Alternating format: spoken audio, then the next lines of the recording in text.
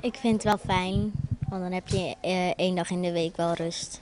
En dan kan je, kan je hoofd ook een beetje rusten van eh, al die dagen. Alle kinderen op de wissel gaan vanaf vandaag nog maar vier dagen naar school. Op de woensdagen zijn ze voortaan vrij. Ehm, We zijn een speciale basisschool. Ehm, kinderen komen hier omdat ze eh, moeite hebben met leren. En veelal eh, is er een reden waarom dat leren niet lukt. Wat kinderen hier doen is topsport leveren vijf dagen in de week. En we merken dat het voor kinderen steeds moeilijker wordt om dat vol te houden. Daarom heeft de school vorig jaar aan het ministerie van Onderwijs gevraagd om verder te gaan met een schoolweek van vier dagen. De toestemming hebben ze gekregen. Ouders zijn enthousiast, maar ook sceptisch.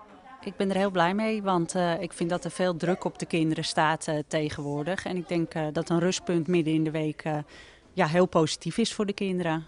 Ik denk dat het voor heel veel kinderen veel beter zal zijn. En ook voor leerkrachten dat ze meer tijd hebben om de lessen voor te bereiden. Alleen zie ik ook als bezwaar dat eh, kinderen die uitstromen naar het, on- naar het voortgezet onderwijs, dat die daar wel eh, moeite mee gaan hebben. Dat, dat die stap nog groter wordt. De school verwacht juist dat het verzuim van de leerlingen zal afnemen en de prestaties omhoog zullen gaan.